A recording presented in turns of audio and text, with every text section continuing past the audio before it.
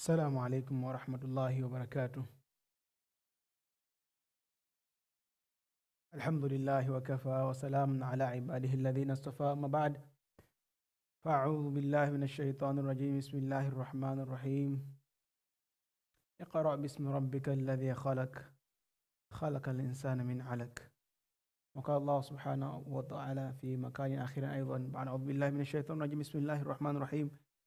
إن الله ملائكته يصلون على النبي يا أيها الذين آمنوا صلوا عليه وسلموا تسليما اللهم صل على سيدنا محمد وعلى آل سيدنا محمد وبارك وسلم صلاة وسلاما عليك يا حبيبي يا رسول الله صلى الله عليه وسلم أيها المستمعون الكرام أيها السادة أيها العلماء أرحبكم جميعا السلام عليكم ورحمة الله وبركاته تحية السلام والخير تزر عن قلوب تدعينا تصلح بين المتباغضين تقارب المتباعدين. فافشوا السلام بينكم يرحمكم الله. قال النبي محمد صلى الله عليه وسلم أفشوا السلام بينكم. وهذا الإفشاء السلام هذا سنة من رسول الله صلى الله عليه وسلم. والله سبحانه هو قال في القرآن العظيم وإذا حييتم بتحية فحيوا بأحسن منها وردوها. وهذا أيضا يرى أن هذا لازم علينا أن نفشى هذه السلام على بعضنا من بعض. فأسلمكم والسلام عليكم ورحمة الله وبركاته. هناك أنا قرأت في القرآن الآية الله سبحانه وتعالى هو يقول اقرأ باسم ربك الذي خلق. فهذه الآية نزلت حينما كان النبي محمد صلى الله عليه وسلم هو كان في الغار الحراء وحينما كان هو في الغار حراء جبرائيل عليه الصلاة والسلام هو جاء إليه. وهو قال يا رسول الله صلى الله عليه وسلم اقرأ. وكان النبي محمد صلى الله عليه وسلم أنا ما أنا ما بقاري كيف أقرأ؟ وحتى حينما هو قال اقرأ باسم ربك الذي خلق. حينما هذا جبرائيل عليه الصلاة والسلام هو سمي أن الله سبحانه وتعالى اسمه في هذه الآية خلاص بنفس. رسول الله صلى الله عليه وسلم هو قرأ. فإذا كان رسول الله صلى الله عليه وسلم هو ما كان القارئ كيف يقرأ في في نفس الوقت؟ وحينما حينما رجع إلى بيته ووجد هناك خديجة رضي الله تعالى عنها وخديجة رضي الله تعالى عنها وهو وهي كان زوجة رسول الله صلى الله عليه وسلم. وهي وهو أخبره أن جاء به جبرائيل عليه الصلاة والسلام. لكن من قبل هذا هو سأل ماذا في ما هي المشكلة؟ فرسول الله صلى الله عليه وسلم كان يقول زملوني زملوني زملوني. خلاص هو يتكلم هكذا. هو قال زملوني زملوني. وهو ما قال شيئا هو سكت. وبعد أحيانا بس خلاص وخديجة رضي الله تعالى عنها هو قال ما فعل بك ما هي المشكلة؟ ورسول الله صلى الله عليه وسلم هو أخبرها أن جبرائيل عليه الصلاة والسلام هو أتاني وقرأ إلي واتانا القرآن وهو قال اقرأ باسم ربك الذي الذي خلق وأنا قرأت ذاك الآية. فاليوم إن شاء الله أنا سأتكلم حول خديجة رضي الله تعالى عنها فضائلها وأخلاقها وكيف هي سكن في هذه الدنيا. فمن هو الخديجة؟ ما اسمها؟ اسمها سيدة خديجة بنت خويلد بنت بن أسد بن عبد العزة بن قصي ابن قلاب ابن مرة بن كعب بن ربيع. فهذا كل أسرته. فهو فهذا خديجة رضي الله تعالى عنها كان معها الأم. فاسم الأم اسمها فاطمة بنت زيد. وهذا خديجة رضي الله تعالى عنها كان معه الأموال كثيرا.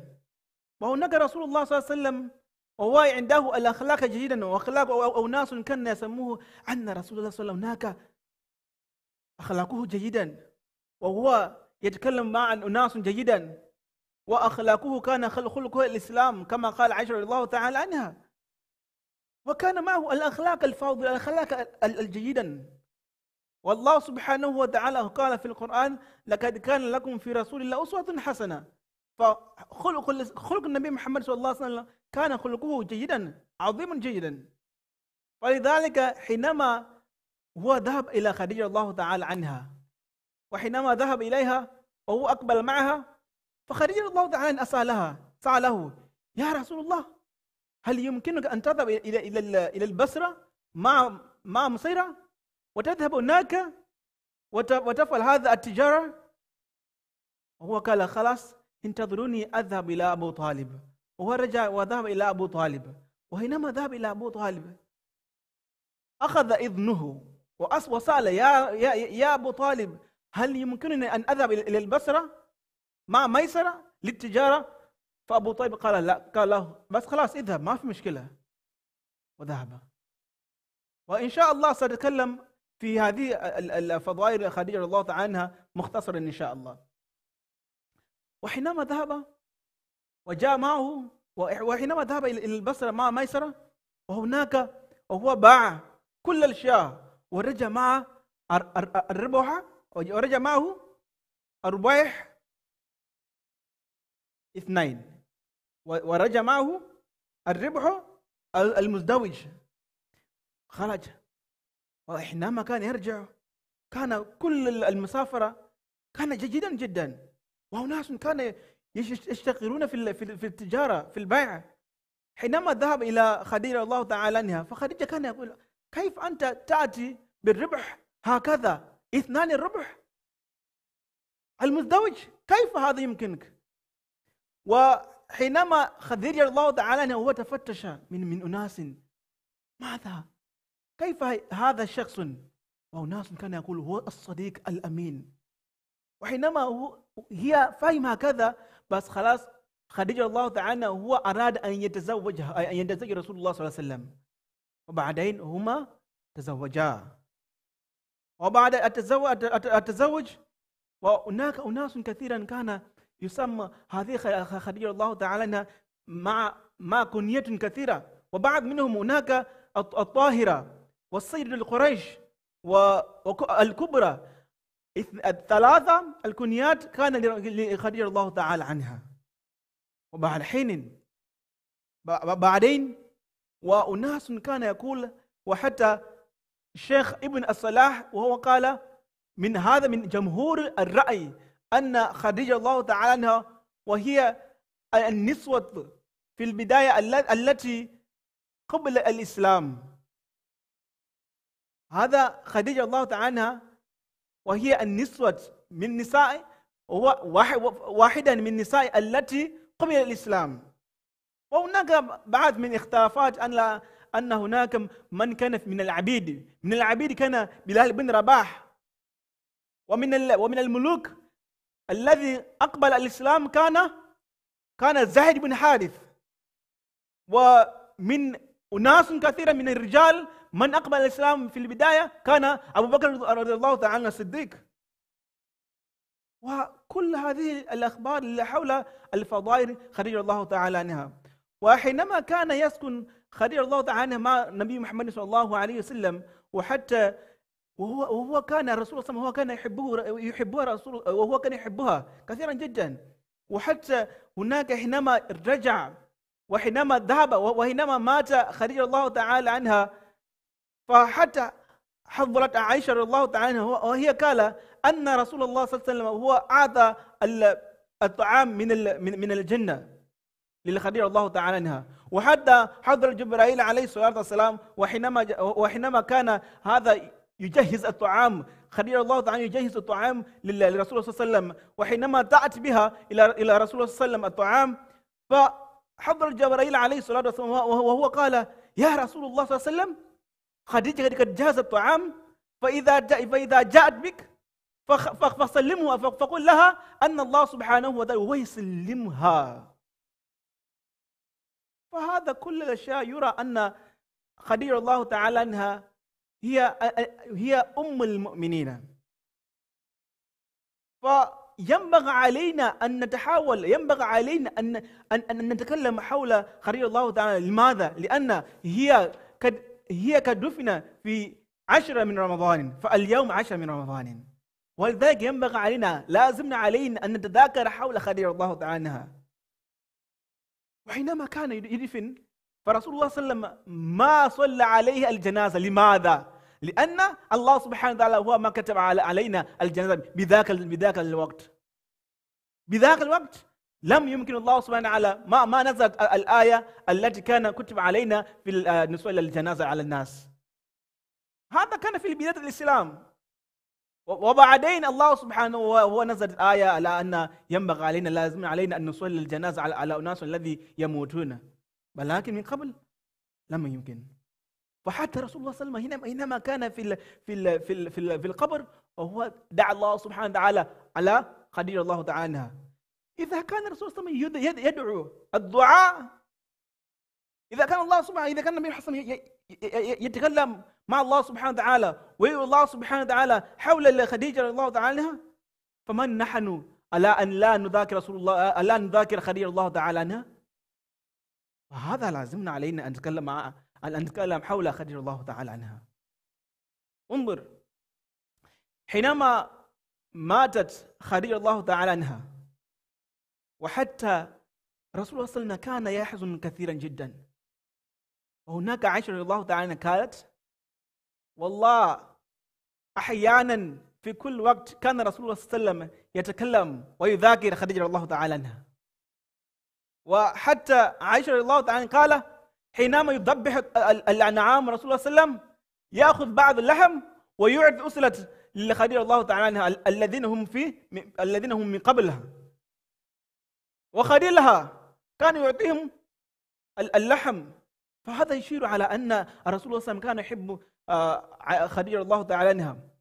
والرسول الله صلى الله عليه وسلم هو لم يتزوج شخصا آخر ولم يتزوج المرأة آخر حينما كان يسكن مع خديجة الله تعالى عنها. كل هذه يشير علينا على أن خديجة الله تعالى عنها عندها الفضائل كثيرة وهي الأم المؤمنين. فمن نحن على ألا نذاكر رسول ألا أن نذاكر خديجة الله تعالى عنها. فهذا ينبغي علينا أن نذاكر وينبغي علينا أن نتكلم حول هذه الأخبار على أن خديجة الله تعالى عنها كان كان الشخص التي التي مكث مع رسول الله صلى الله عليه وسلم في وقت ممكن تقريبا 25 سنة. وكان يحب رسول الله كان يحبها رسول الله صلى الله عليه وسلم. كثيرا جدا. ولذلك إذا كان أنت تحب إذا كان الله إذا كان النبي حسن يحب خديجة الله تعالى عنها بنفس شخص بنفس شيء ينبغي علينا أن نحب على ينبغي علينا أن نحب خديجة الله تعالى عنها أيضا. فأسأل الله سبحانه وتعالى أن يوفقنا ويجعلنا من الذين إذا يسمعون شيئا وهم يفعلون هكذا. والله سبحانه وتعالى يجزينا خيرا إن شاء الله. الحمد لله. uh, I ask Allah subhanahu wa ta'ala to grant us the ability that inshallah we can also be able to, to learn and be able to understand Arabic. It is very important, inshallah. And inshallah, we will have our classes here, Arabic classes, inshallah, after Ramadan, once things are opening up, inshallah. So I will just give in brief, inshallah, of what I was speaking about. I was speaking, I, I started with an ayah where Allah subhanahu wa ta'ala says, bismi rabbika alladhi khalaq that Hazrat Jibreel alayhi salam, he came with the Prophet Muhammad when he was in a Ghari Hira and he said, Iqra, read. And he did not really say, I'm not a Qari, I'm, I'm not a reciter, right? But then what was the reason? No one would tell you this reason. Why did the Prophet did not read at, at the first? Before I get to the story properly, I will, I will start with this ayah. اقرأ باسم ربك الذي خلق. He said, أنا ما بقاري. He said, I'm not a قاري, I'm not a reciter. I cannot read what, what you want me to, to recite. But what was the reason? No one will tell you. I'm telling you today, inshallah. He said, Iqra. Read. In what? For who? For why? Why must read? For what?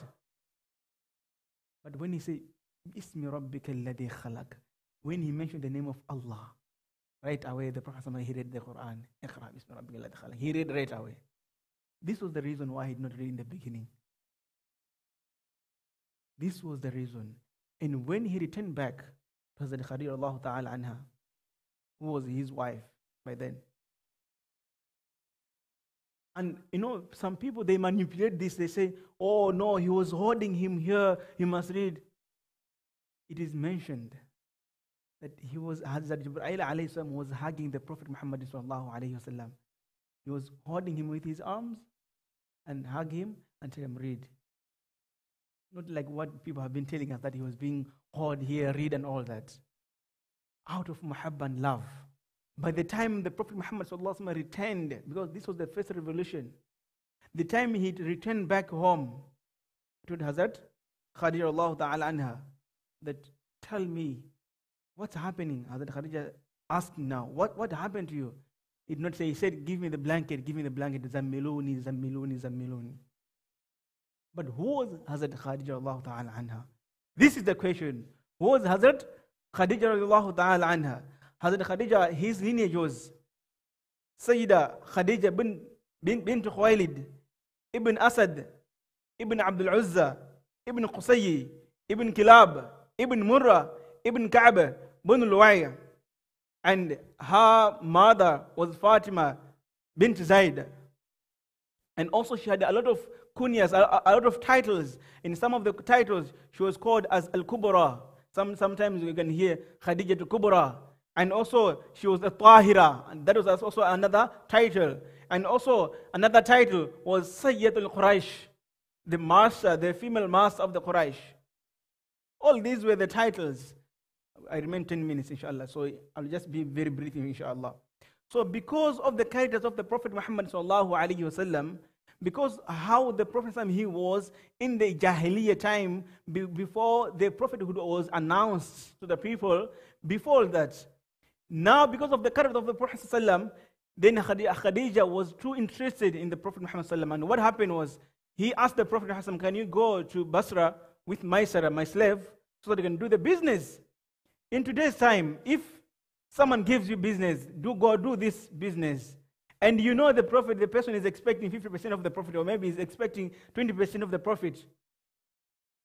Only a few of us, only a few of us would get, let's say you make the profit double profit.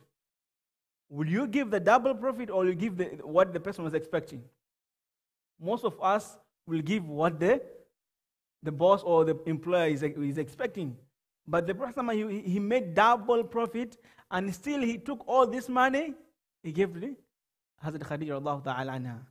Because of these characters, it made Hazrat Khadija Allah ta'ala to change their mind and she became so interested to know more better about the Prophet And because of the people we are calling the Prophet Al-Amin, As-Sadiq, the truthful person, there's someone who speaks every time through the truthful things.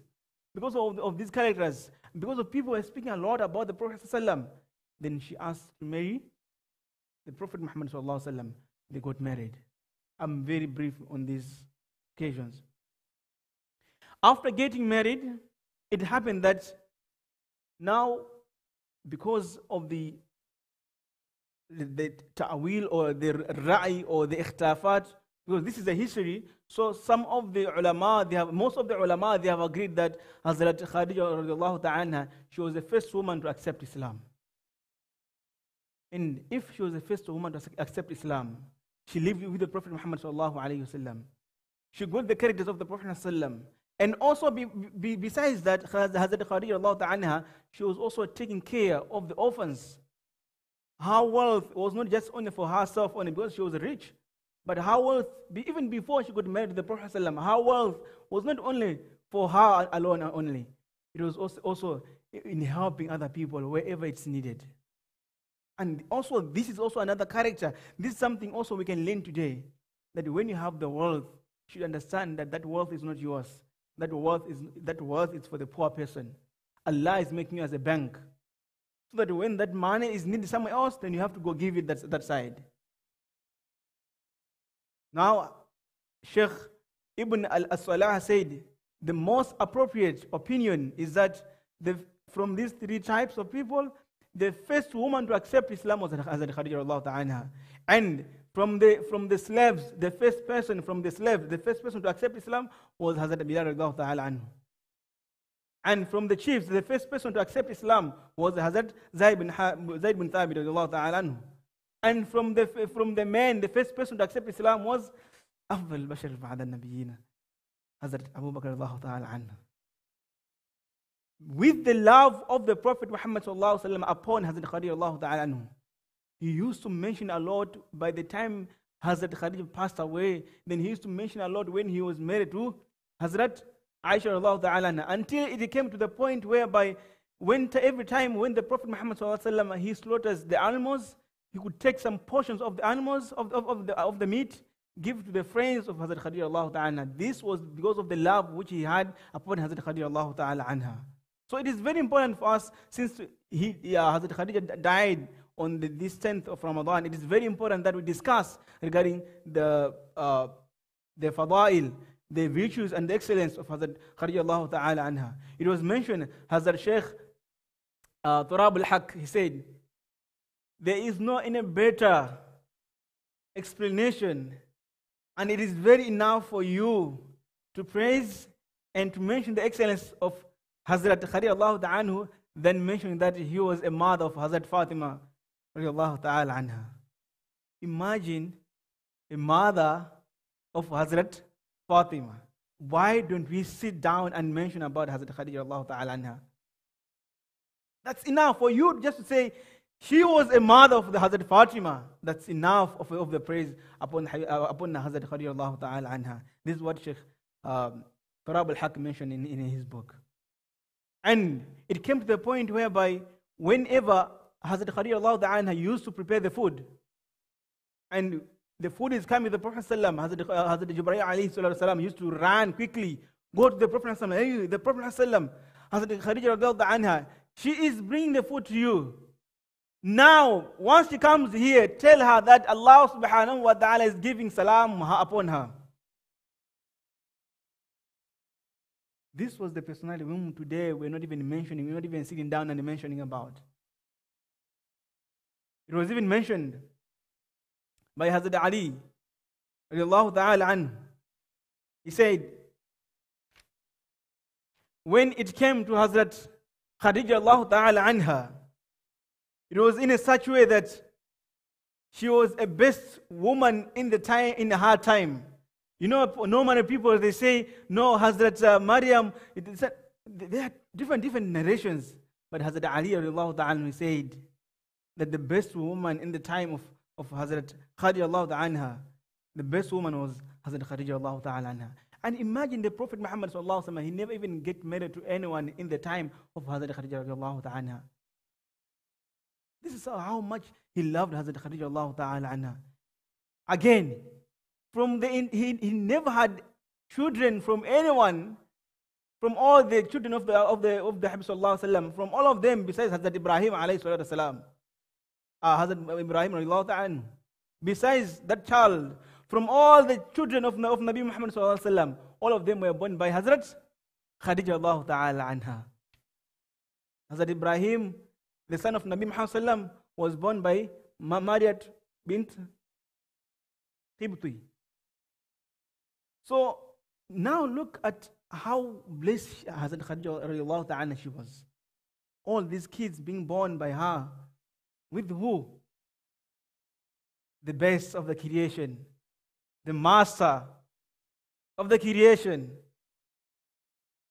the imam of all the prophets, Muhammad sallallahu alayhi wasallam. She was too blessed. And because of that, it is very important for us that we need to sit down and discuss. And she died, she, by the time she was dying, almost they stayed like 25 years together. And she died in the month of Ramadan, on 10th of Ramadan. And there was no janazah which was made for her. There was no janazah. The, reason be, because was in that time there was no the revelation which was saying that we must be praying janaza for the deceased. So that ayah before it came, then that's the time Khadija passed away. And also the Prophet he, he himself he entered in the graveyard in, in burying Hazrat Khadija At the same time, he, the Prophet ﷺ, in the, in, the, in the demise of the Hazrat Khadija anha, he used to visit the friends of Hazrat Khadija out of love and honoring Hazrat Khadija anha. So it is very important for us that we should, we should sit down every time and speak and, and discuss with our friends, with our families at home, speaking about the, uh, the fadail, uh, the, the excellences of Hazrat Khadija anha. Ask Allah subhanahu wa ta'ala to grant us love upon Hazrat Khadija anha. Ask Allah subhanahu wa ta'ala to grant us love upon the Habib more than anyone in the world. وَمَا عَلَيْنَا إِلَّا الْبَلَاغُ mubin. Wassalamu alaikum wa rahmatullahi wa barakatuh. Inshallah, short announcement. Uh, we have the box here, Sadaqah al-Fitr box. We will, inshallah, will be, uh, you can come and give your Sadaqah al-Fitr $10 per person. $10 per person. And also, alhamdulillah, we have our Lilla box here, which is coming through. Please do donate generously. This is the month where we need also to become more generous and we know the companions they compete in doing good things. In uh, if you were giving in the in the previous months, if you're giving $10, $20, this is the month where you can give $40, $50. And we should understand that even the rewards itself, they become more, inshallah. May Allah subhanahu wa ta'ala uh, uh, may Allah subhanahu wa ta'ala reward you in abundance, especially in this month. May Allah subhanahu wa ta'ala reward you and may Allah subhanahu wa ta'ala bless you. May this this, uh, this donation which you are giving today may be as a means of barakah and rahmah in your life, inshallah. And also, there is a renovation coming up where we're going to, we're going to be changing even the carpet here, even there by, by the, by the wudu All that we're going to change, inshallah, we're going to renovate. So, inshallah, we need your help. Without your support, inshallah, this won't happen. And we need we're not looking for one person to donate, but we're looking collectively. We have to come together with one hand, inshallah. Then we can be able to uh, come out with this renovation, inshallah. At the same time, we are making dua for Sister Sabah, who is very sick. May Allah subhanahu wa ta'ala grant her shifa kamila ajila. And also, we are making dua for all the marhumin, khususan, uh, who has just passed recently today, is it? Today, Nur Jihan the wife of uh, Master Shafiq. May Allah subhanahu wa ta'ala grant her uh, high status in Jannah. May Allah subhanahu wa ta'ala forgive all her sins. And through this uh, month of uh, Ramadan, may it be as a means of forgiveness in her qabr, inshallah. Ask Allah subhanahu wa ta'ala to forgive us all. Ask Allah subhanahu wa ta'ala to grant us a tawfiq. Wassalamu alaikum wa rahmatullahi wa barakatuh.